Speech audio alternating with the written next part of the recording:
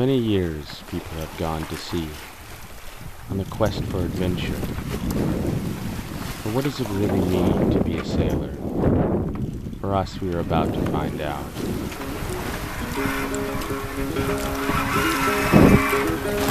Lower your topsail, rail up your mizzen, and bring the ship under my leash. I'll give to you a full cannonball and drown all oh, your merry men in the sea.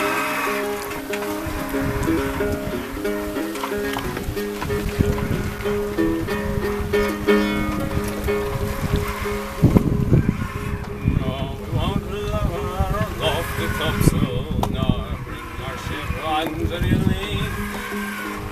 You chain to us a full cannonball, or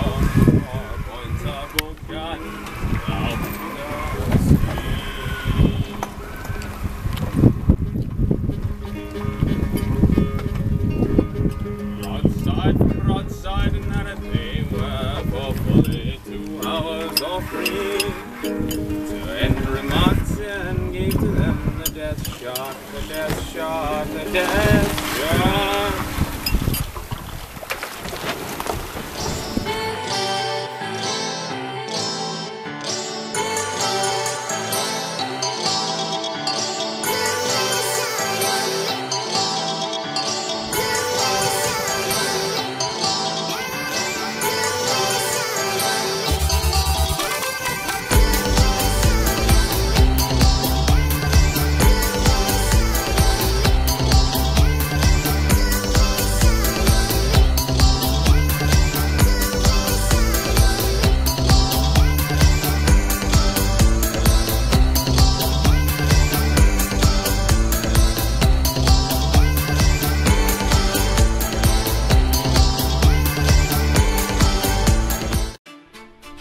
crossing, we decided the best route would be to go 130 miles offshore from Florida all the way to Texas.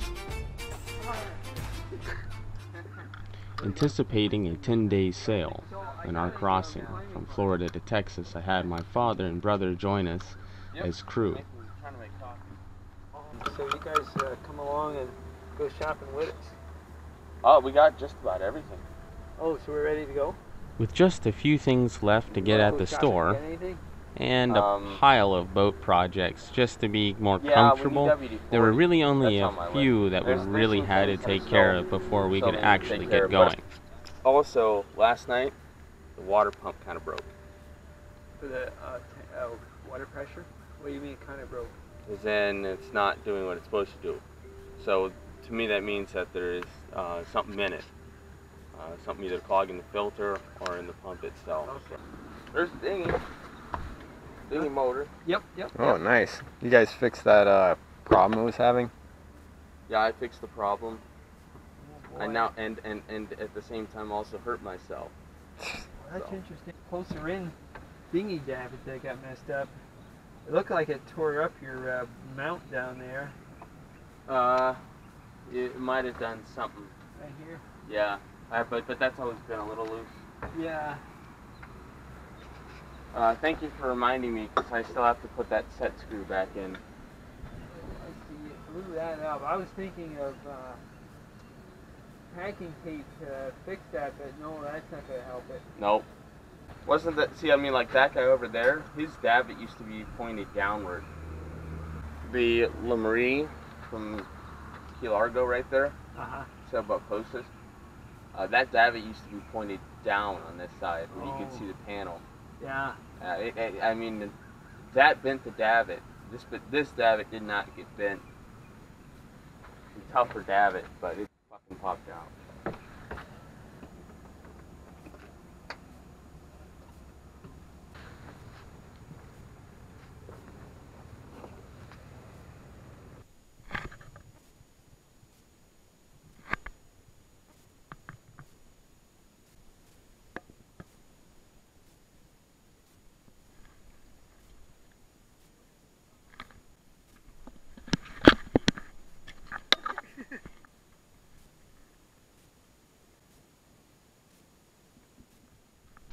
While we tackled all the projects and hard work, thoughts were brewing on our mind of this crossing, and we heard rumors of pirates.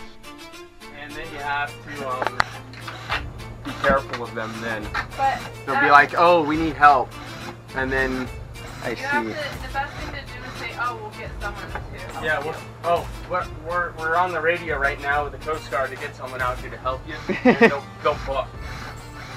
Yeah, no Yeah, shit. Be like, "Oh, never mind, we fixed it." Yep, and then.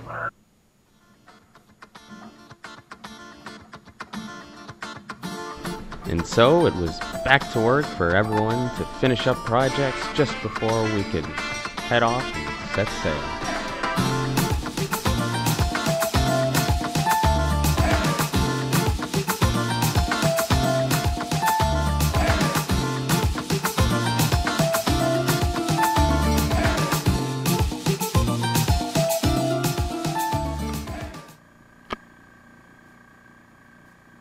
Once we got all the work done, I decided to take out my brother for a nice little tour around the block uh, with a dinghy motor and then eventually paddling because the dinghy motor died. But you know, that's it. We're not going to, you know, talk about that. Yeah, okay. So what I'm gonna do is I'm gonna trace that line that's in there. As the rain had set in for the evening, we all sat around thinking about how majestic that this experience could that line. potentially be. You'll be able to see outside. Um, but I took the we well first on my way back from Billy's, first time riding the dinghy ever, which it died like 15 times.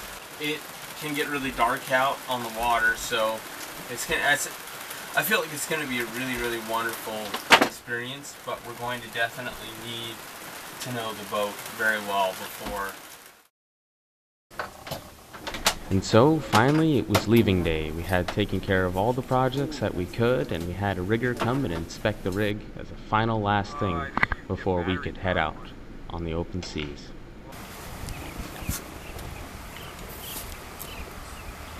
That explains why it was black.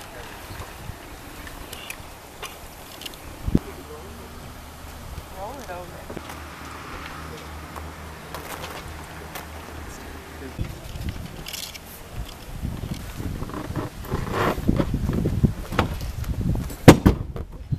What was that?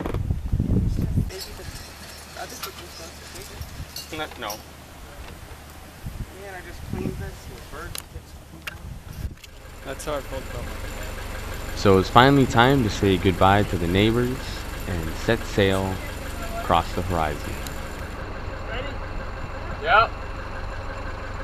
Go ahead. Here we go.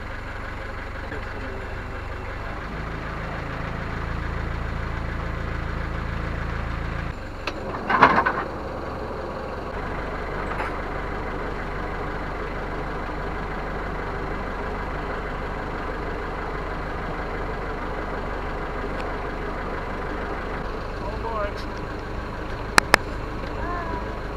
Thank you. Thank you. And just like that, our adventure began.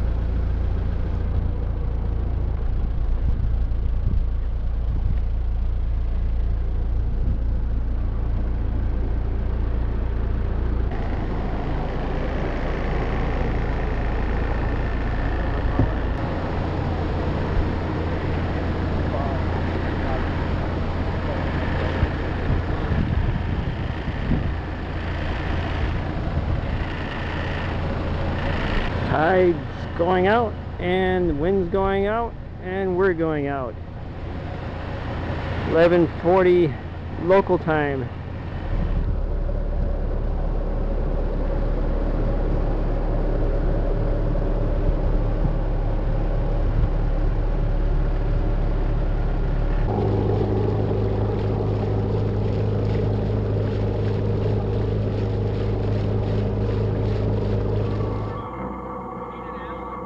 Once we got underway, we realized that having the dinghy on the foredeck was not really a good option because it would take the whole foredeck up for the entire duration of the trip.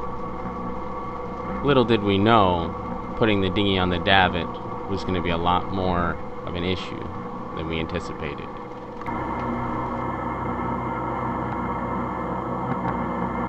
What you may remember is that we lost the solar panel in Hurricane Irma. But what also happened was the dinghy davit also got messed up because the foot of the dinghy davit is on a piece of wood and that wood had dry rotted. Well, during the hurricane, the dinghy popped out of its foot and then it no longer was able to, to be stable. So we had to make a improvised foot uh, for just this crossing so we could put the uh, dinghy on the davit and clear up the foredeck. Well, that's when disaster struck and the solar panels wind up going down almost into the water.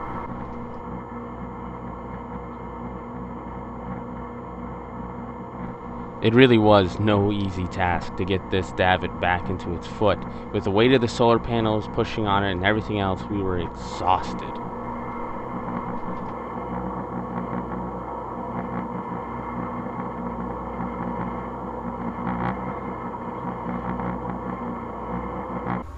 So with the dinghy davit in a alright condition, it was time to lower the dinghy into the water.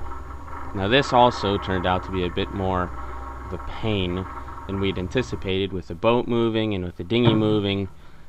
I'm not going to say that I fell in the water, but I fell in the water and I fell in the water. Anyway, uh, and so we finally got the dinghy right up onto the davit so we could sail off and continue on our adventure. Once we had made it out of this pretty long channel, it was finally time to put the sails up and sail.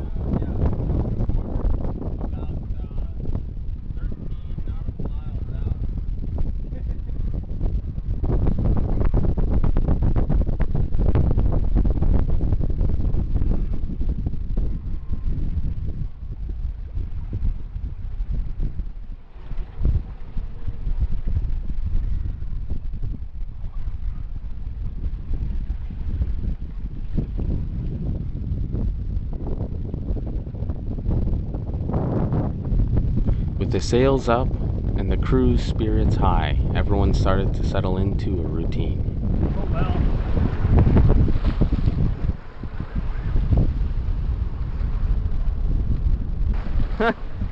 I- I'm recording a video. Oh.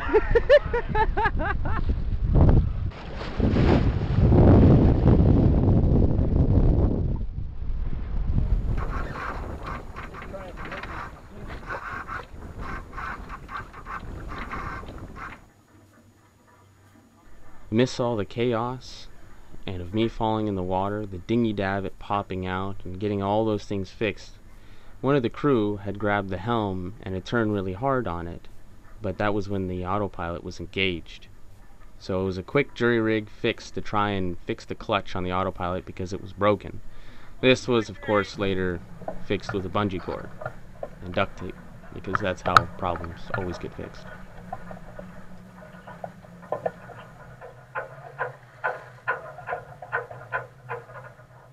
But it was, of course, because of the clutch that we wound up mostly having to hand steer pretty much the entire trip. Which, if you haven't done before, is really arduous and long and exhausting.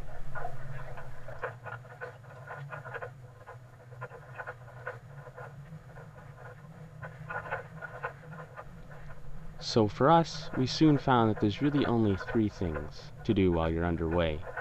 One of them is to make sure that you don't run into anything or anyone else. The second one is to make sure the boat doesn't sink, because inevitably there's boat maintenance while you're out there and things things just break. They just do. Now the last thing is whatever you can find to keep yourself occupied. That's reading a book, that's working on whatever it might be, but there's not a whole lot different. But when it is different, it gets too exciting too quick.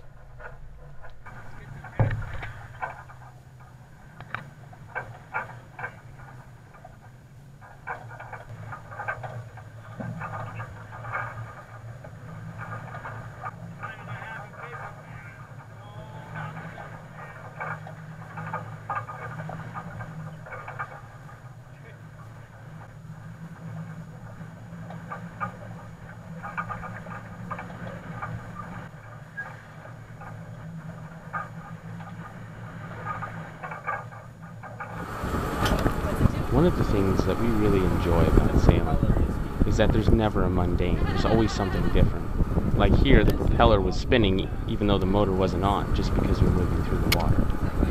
Always interesting.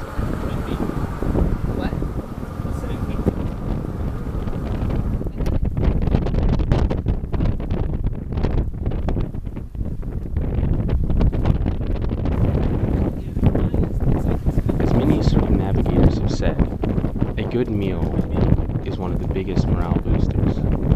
Unfortunately, that was not what this was. This meal was prepared without using refrigerator, which means all the ingredients were not fresh and also didn't taste that well either. But this was just our first experiment trying to cook at sea.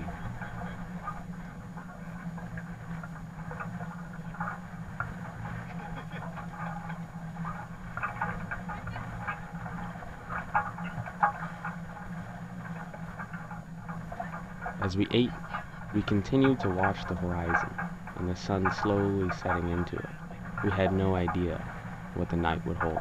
As the winds increased and as our bellies were full, half of the crew got super sick and were vomiting pretty much the entire night. Hi, Van. After restless, windy night, now it's almost calm. We're moving along two knots.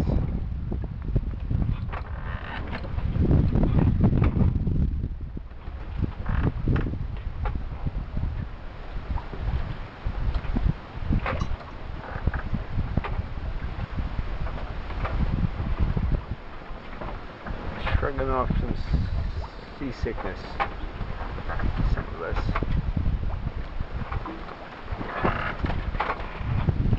Moon came up about an hour ago, or no less than that. About an hour ago. Looks like Venus on the horizon there. Initially thought it was a boat. 'cause I saw it looked like a red light. It's just really hazy near the horizon. So it just appeared red. It's white now.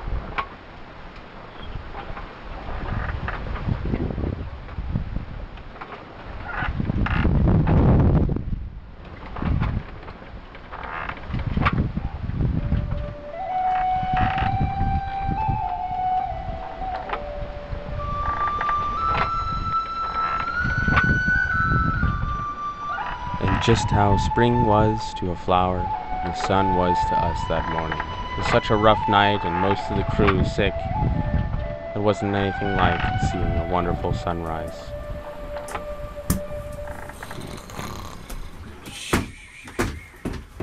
Well, at least most of the crew saw the sunrise.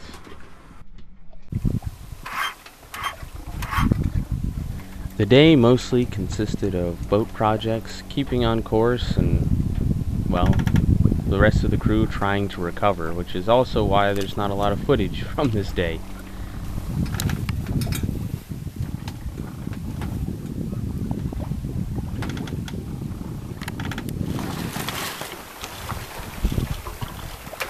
As night set in, the winds began to rise, something we'd soon learn would be the normal, for the days would be very still and the nights very strong.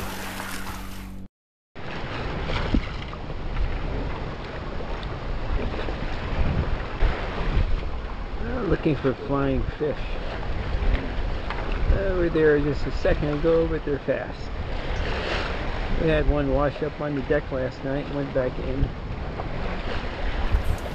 Oh, they're fish jumping. They're tuna. There's two ones. There's a fish that just swam under the boat. Big one. Although not satisfied with the two knots that we were making, we had no idea what the wind would do next.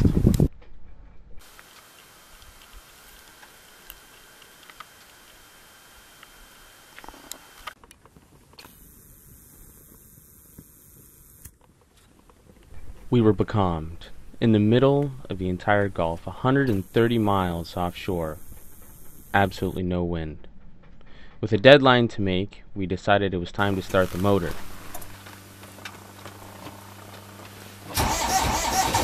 but the motor wouldn't start. Now we are left with no option but to try and fix the motor at sea. So down I went to try and figure out what the problem was.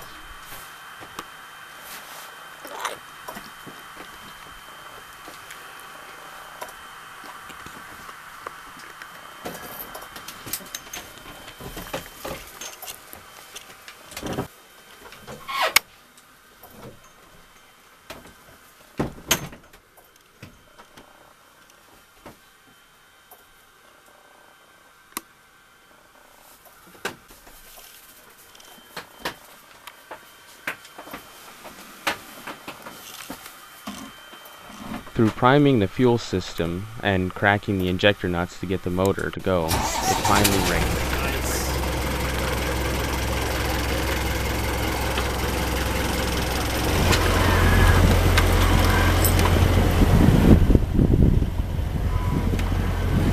Right.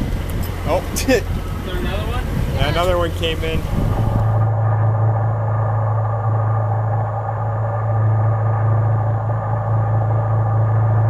And then, like clockwork, the wind picked right up. Soon as the sun had set, the wind had started to increase, and so we shut the motor and sailed.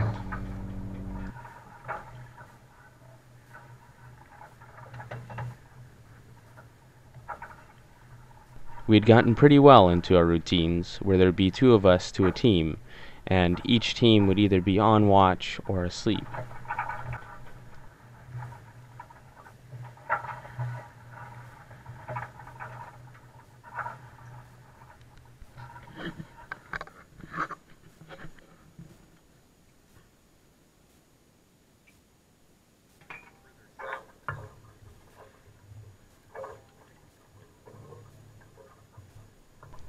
The next day, early in the morning, one of the crew rushed in and woke me up. They had spotted a potential skiff on the horizon.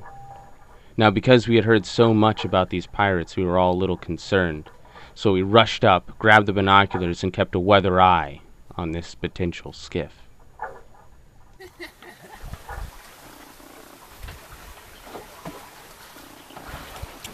Alright, adjust course. South by southwest. Yeah, it's back to 240, yeah.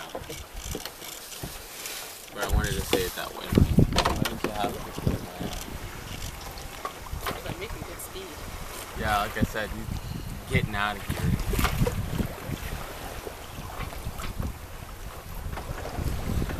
They could escape a lot faster than we could. That's why we, uh, As we inched closer and closer to the skiff, we finally got a good understanding of what it really was. It was a big trawling motorboat that was out there in the middle of the Gulf fishing on some sort of a fishing venture. Now, we're not exactly sure as to whether or not they were fishing legally, but they were definitely fishing. no, No, even. no, maybe like 20 minutes, 30 minutes. Yeah, he, he just popped up with the sun. Cat Dave calling a boat here to my uh, southwest. I'm at a 4104 and a 3136. Now, it was at this moment when he turned on both of his engines and really sped away. Now, it may be because he tried to hail us on the radio and we didn't respond, but we were just trying to cruise through and didn't really care. But maybe it was because he was doing something that was illegal and didn't want anyone looking at him. Either way, apparently he was a lot more afraid of us than we were of him.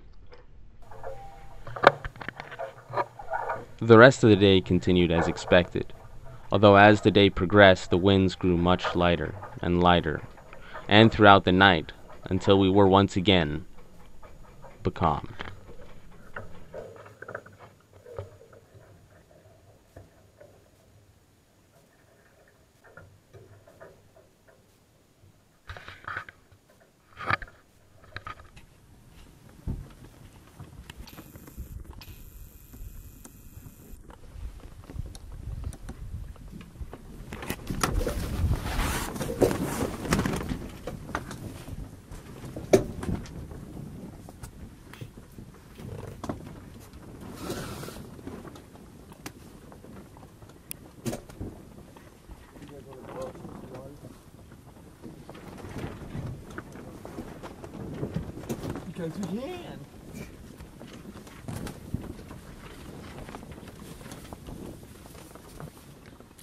Gorgeous out.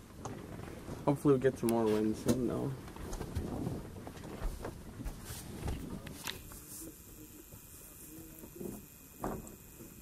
I was doing a zoom shot. You got right in the way. Oh yeah, what was that? A fish jumping. It's a small one.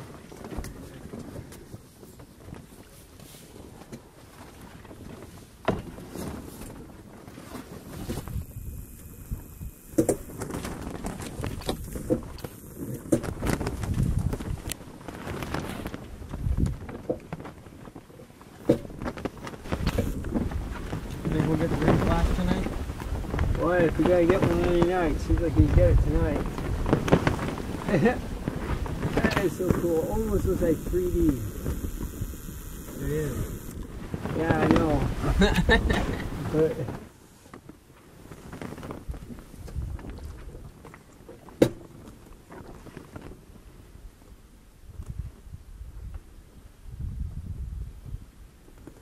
And just like that, there it was.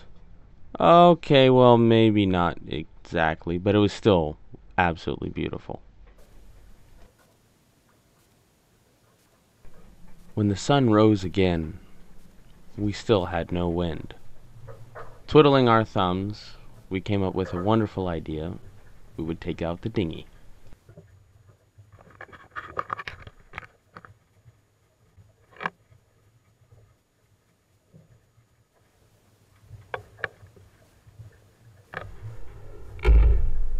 It was at this moment where we heard a huge explosion. Not just like a small firecracker, but something that shook the water and the boat. Well, as it turns out, we didn't check the chart. And if we had, we would have seen that we were like 10 miles away from a missile testing range. But that didn't stop us. It's time to take the dinghy out.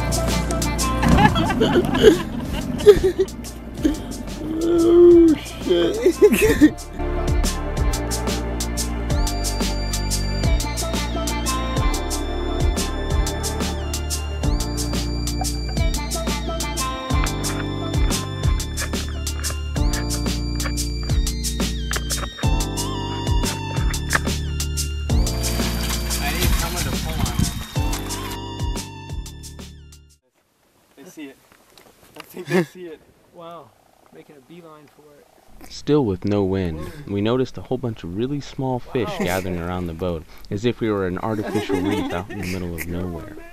Well, I dropped a lure in to see what they would do. It's a little small lure about the same size as them, but yet they were just fascinated with it, and just about each one of them wanted to bite Bite it. it. Bite it. I wonder if they find it entertaining.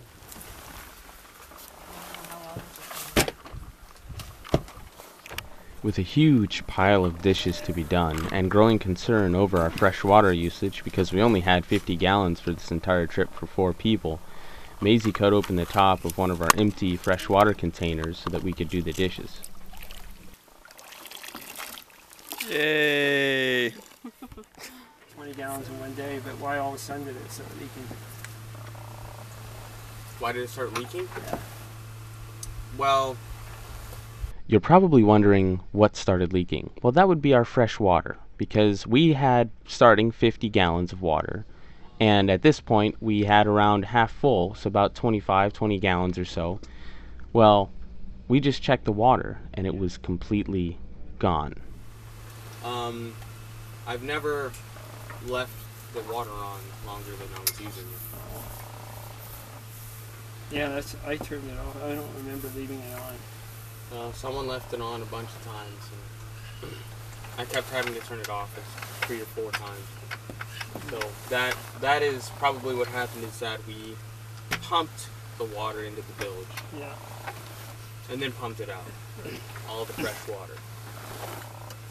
Oh, and the bilge pump's taking care of it. Yeah, of course. Okay. They'll take care of it really quick. So what fitting was that? I don't know. I, I haven't found the leak yet. Okay. I can't find the leak until we get water. Coincidentally.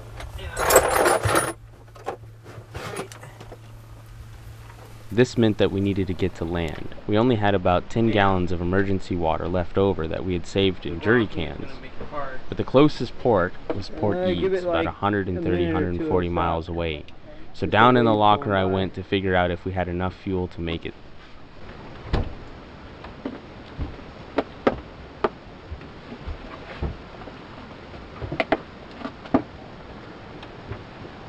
So what's up with the fuel stick? Almost 24. Almost 24. Yeah. Uh, so what what proportion was out of the stick that got? Middle between 24 and 39. So What did we start off with? More than that. Didn't seem like it actually used that much. No. that's good. I figured it was around a thousand RPM, and that would be close to about 0.8 or so gallons of fuel per hour. And so we motored. We had about 5 gallons to spare just to get there. So we were really hoping that this would work out and we would catch some wind later on the next day. Another calm day on the Gulf.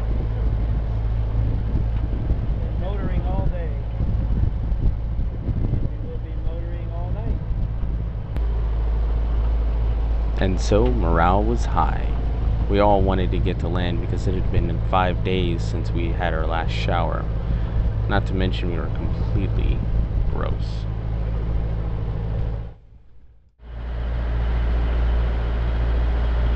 And that's when we saw it. Our first oil rigs. First of many, actually. In fact, the Gulf is completely littered with oil rigs.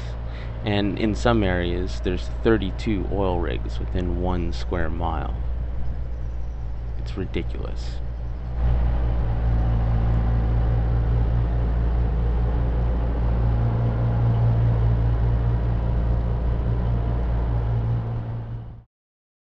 Halfway between 24 and 39 was where we started. Now we're quarter of that distance. 15 gallons. So we use one quarter that distance with 3920. Yeah. So 15 gallons, and we use a quarter of that. Yeah. It's four or five gallons. And we were driving for how many hours has this been? Started at 8, that's 12, that's 11, that's maybe 10 hours. 10 hours. So 10 hours is 5 gallons of fuel. Yeah, so it's pretty close to a half gallon. Yeah. So if so, if you're saying we were between 24 and 39, that's 15.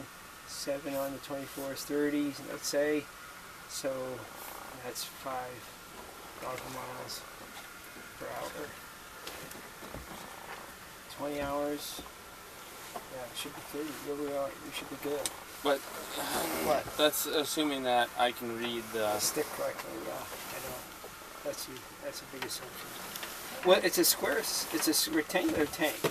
And it's not quite, but it's mostly rectangular. I just don't know if the markings are correct.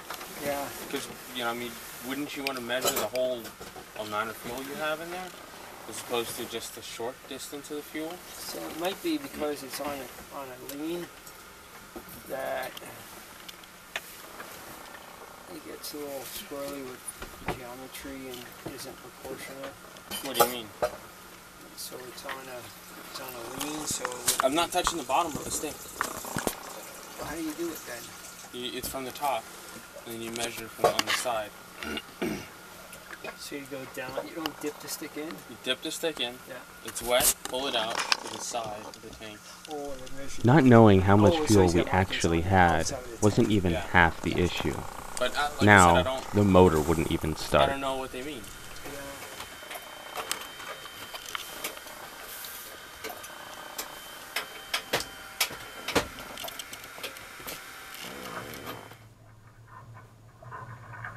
It wasn't too long before we figured out why the motor wouldn't start. Well, when we looked at the fuel tank, the fuel tank is made out of fiberglass and plywood. Well, that's not to standard. We'll just say that. And as time went on, the fiberglass deteriorated with the diesel fuel. And as the waves were moving the boat around, it churned up all of this fiberglass.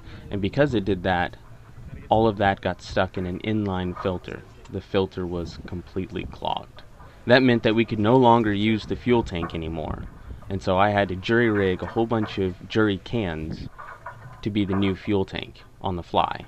Because there's no one out there. No one can help you when stuff goes bad. You just have yourself and your two hands. And hopefully your wits. Jury rigging a new fuel tank didn't completely solve the problem. Because the only diesel we had was in the tank, with fiberglass and growth which meant the only way for us to actually get diesel would be to filter the stuff in the tank. Well, the only way that we could figure out how to do it was with rubber bands Have an arrow and coffee filters. the So we fuel filtered tank. the diesel from the tank using coffee filters. So what are you working on now? Oh my god, two cameras? Get a light! With the wind finally picking up, we were able to sail. And thankfully, too, because we still hadn't started the motor, or gotten it to start at least. Hear me?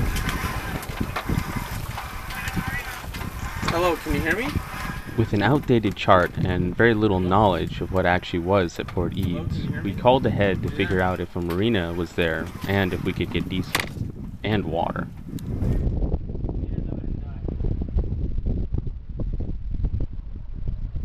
Y'all find me a nut? Probably. So that was open. An awful smell in the V-berth kept us up at nights. The reason was because the lid on the sewage tank was open and the tank was full. Awful. Kept getting a leak, or rather a smell, leak of smell of sewage, and it was just like raw awful throughout the night. Couldn't sleep past a few days because of it. Awful.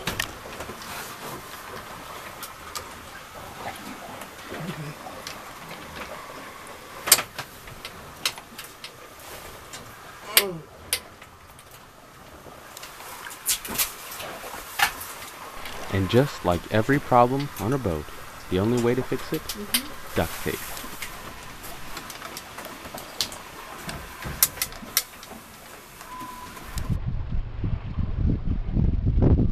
We continued to sail until we got really close to the channel and then began to motor once again. Cautiously examining our fuel amount, we continued on until we finally made it up the channel to Port Eads.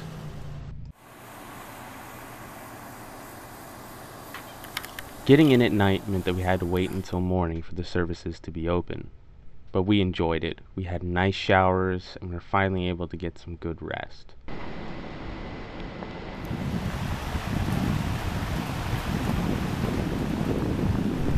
Having got in at night, we really didn't know what Port Eads really looked like. So during the day, in the morning, we decided we should explore a little bit. Port Eads is a wonderful place. In fact, Port Eads is located 20 miles away from the nearest road, which means the only way to get there is by boat.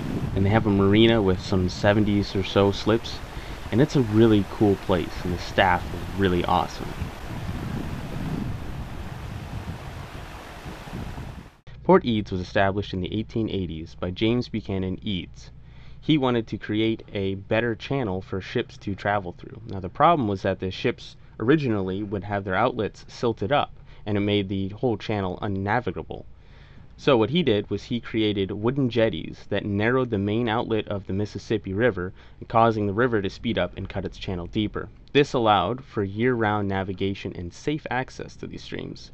And so, the actual Port Eads itself was mainly a, a lighthouse that was set up to guide ships in. Then, in 2005, Hurricane Katrina smashed Port Eads. In fact, very little remained except for the lighthouse and a few lucky fishing camps.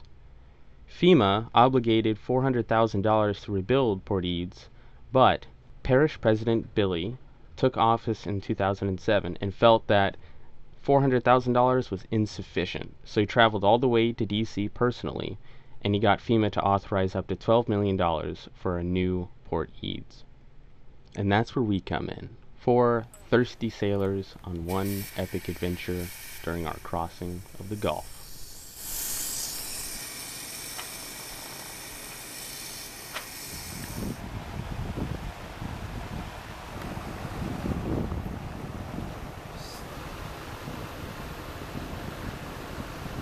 With the water tanks filling up, it was time to go and get the fuel. Many staff are here? two right now. Hmm. Summertime, there'll be about six of us, Oh wow. a few interns. Mm. But uh, right now, there's three of us total, and we just kind of rotate so nobody goes crazy out here.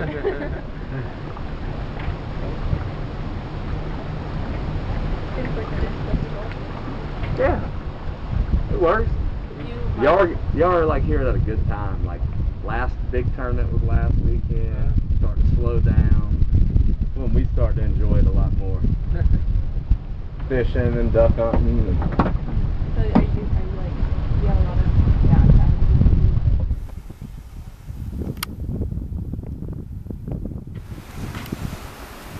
Returning with the fuel, it was time to transfer the fuel into our jerry can slash gas tank and get it on board. No, no, no. That one's got duck one because that tube's got to go in there. Okay. And kids. What?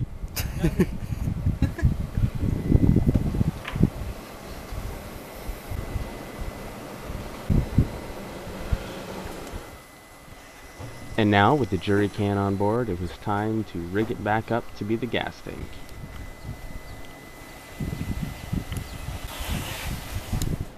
With just about everything ready to go, it was time to take one last look at this really cool place. Oh, nice view. Yeah.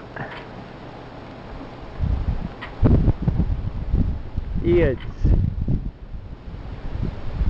Louisiana, 8:12 a.m.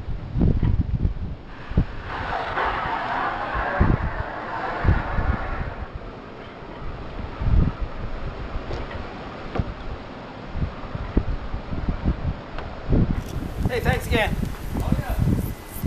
Are we all settled up? Yep. Okay. That's nice. I got you.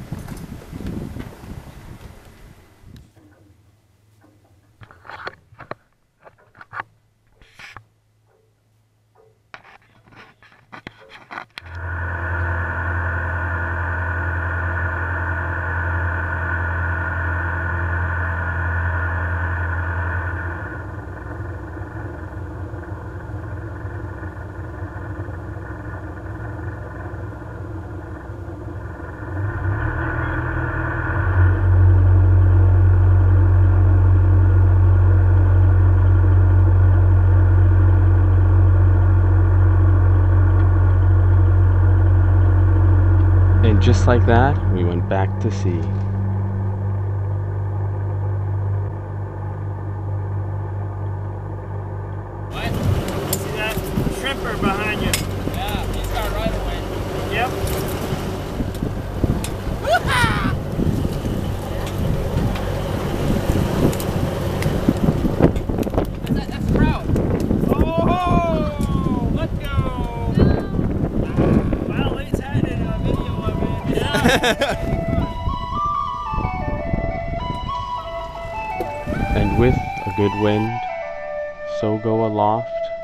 The sails.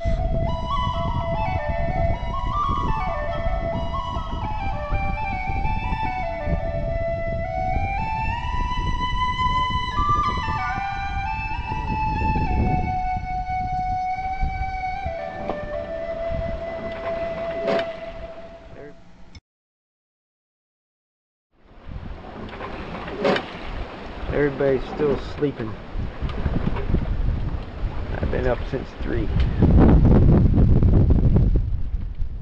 was Sharon Watch with me, after sunrise, a little after, we decided to take a nap so I could take a nap later.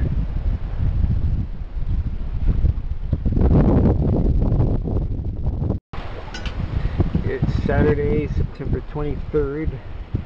Overnight, the Raymarine Autopilot compass died.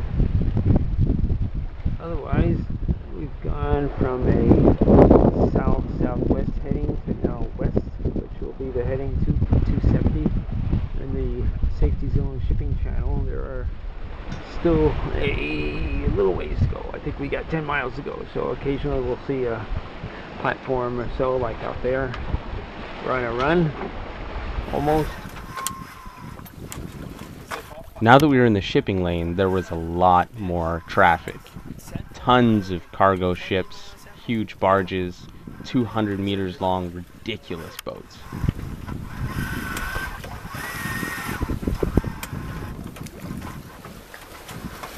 That's probably got Earl in it. With the forecast looking good, we were all in a good mood. Well, you know how forecasts are. They change.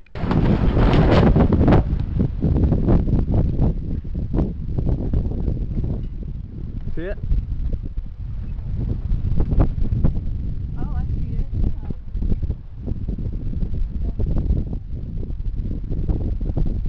And it's so unique seeing a water spout.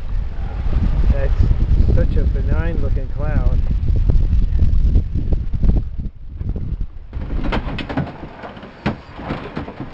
The wind started to howl, the seas began to build. There was a squall upon us.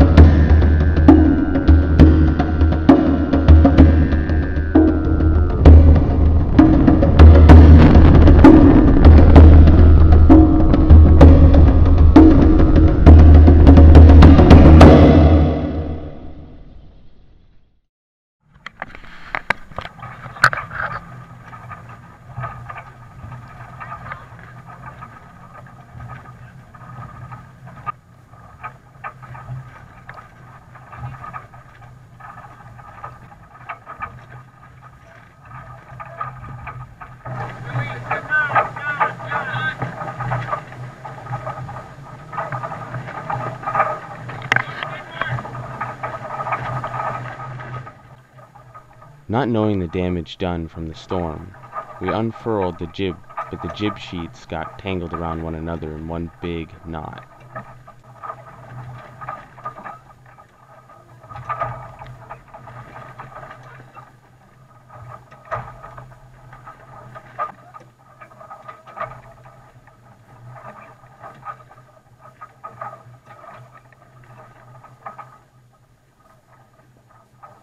During the storm, we furled in the jib to hove to with just the mizzensail out. This is probably the most effective way for us to hove to. However, now we're having such a tough time getting the jib and the jib sheets untangled.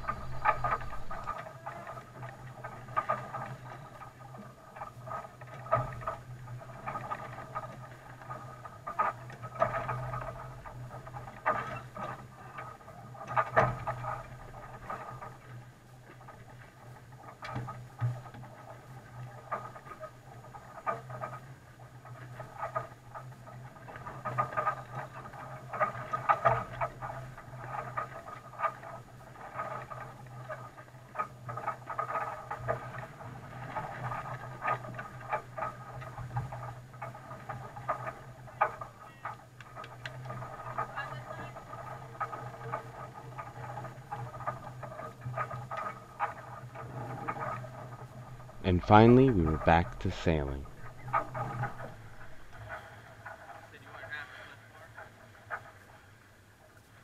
And as the sun began to set, we were finally able to retire from our exhausting day.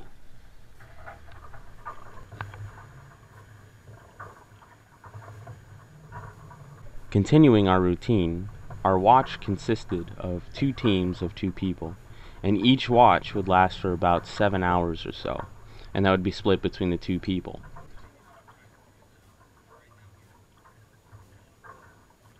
Splitting up the watch like this was a real benefit because it meant that there was always an extra hand right there in the cockpit in case you needed it. All you had to do was wake up the poor soul who was sleeping and tell him to do something.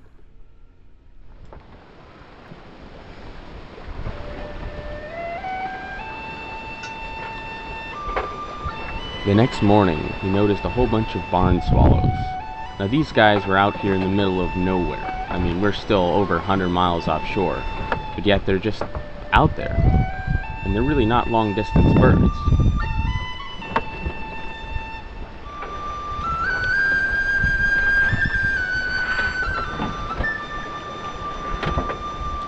It wasn't too long after that we had yet another visitor.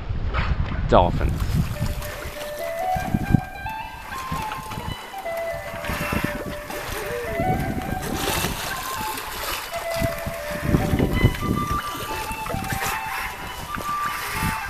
Sighting dolphins is really not all that uncommon. In fact, we saw them just about every other day. However, this was a huge pod, and we'd gotten used to seeing a whole bunch of jellyfish, moon jellyfish, and they covered the entire Gulf, all the way from around Louisiana west. And then it was a bad and a sad sight, because it meant that the ecosystem was not doing so well. But this pod was huge, and they were so playful. They just loved to sit around, play with us, turn around upside down, and sometimes you could tell that they were looking at us on the boat. It was wonderful.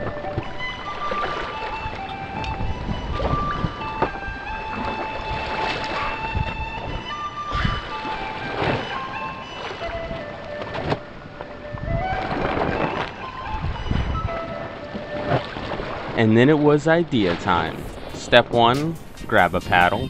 Step two, always grab the duct tape. Step three, grab an underwater camera, turn it on, shove it in the water, and it's time to see the dolphin.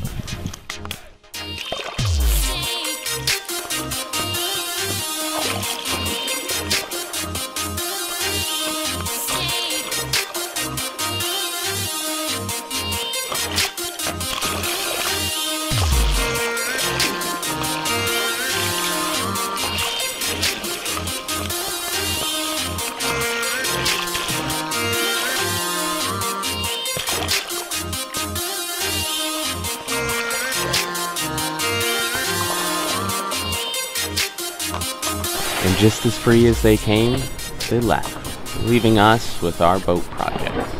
Well- Ace was leaning on it or not? Hard to say. Seems like it's just that hose there. Spraying onto electrical conduits. Where was it again? It's this hose, this clear hose here. Is a hole right over here. It's squirting out of it. So, I'm gonna clean it off, put some duct tape on it.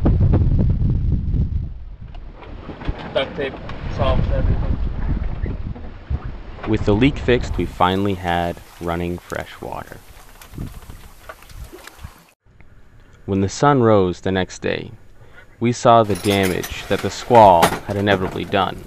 The squall had weakened the sail so much so that just with a few gusts, the sail had ripped wide open. So we backwinded the jib that the damage would be closer to the mast for ease of access. So up I went to try and fix this problem. It was really tough because the seas had not calmed down we were still rolling around.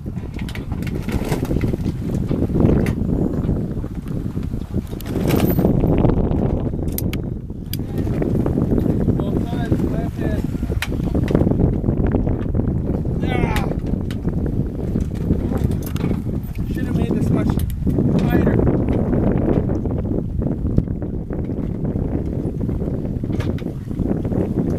Not well. Okay, there's a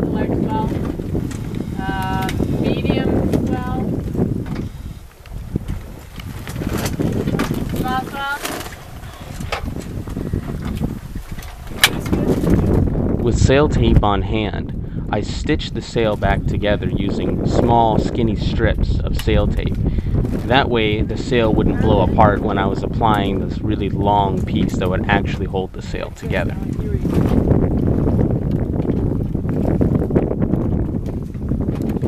Oh, come on, a little more warning. Sorry. Ah! Also,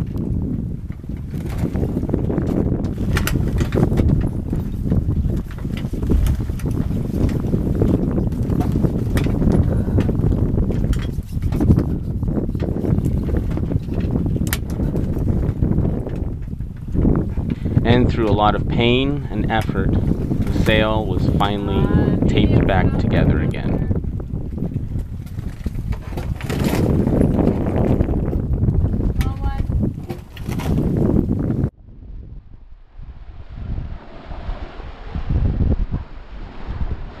In the last three days of the passage, the crew and I were exhausted.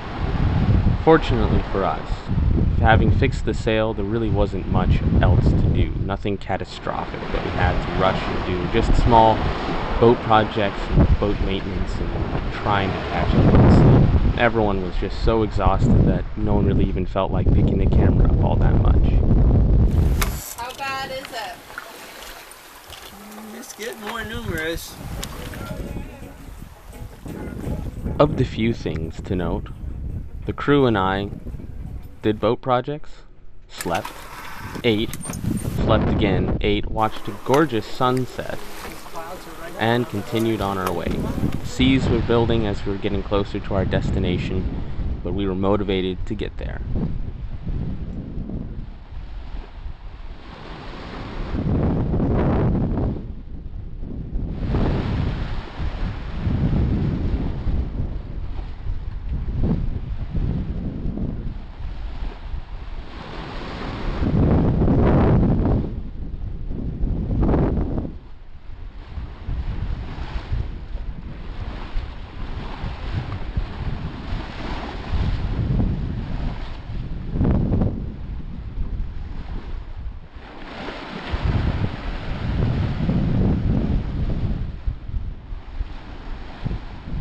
Because of the remnants of an old hurricane in the Gulf and a new hurricane around Puerto Rico entering the Gulf, the swells were kind of big.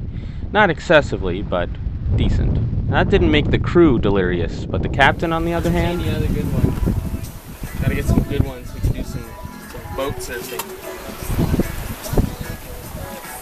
Sailboats can surf, you know.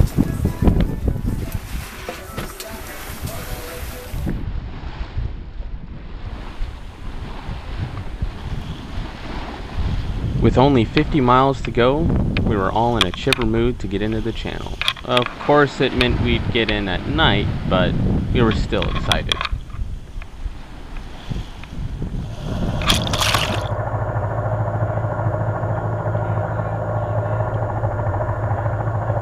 Finally motoring, we entered the channel, motored all the way to the dock, and pulled in at about 4 in the morning and slept.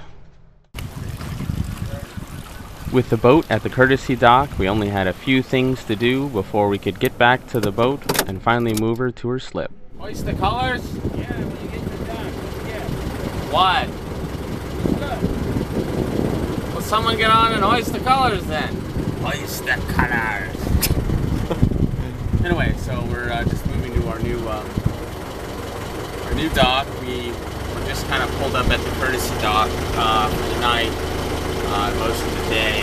Went in there, dropped a huge amount of money. At least it felt that way, just to get uh, dock and then all the paperwork uh, that ensued. Then we had to um, get get registered, titled, the whole everything, and yet there's a mountain of paperwork that still has to go. It's pretty crazy, but seems like a really nice spot. Got wonderful skyscrapers. I'm more of a country person, but cute, quaint downtown.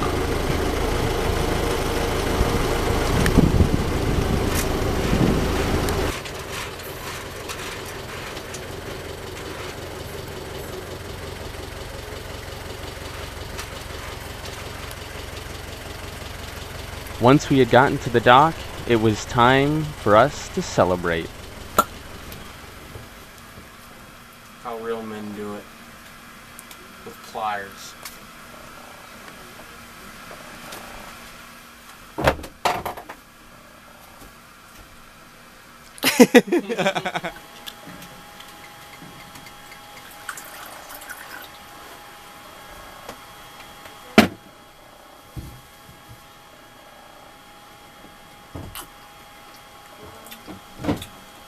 That's definitely two dollars of wine.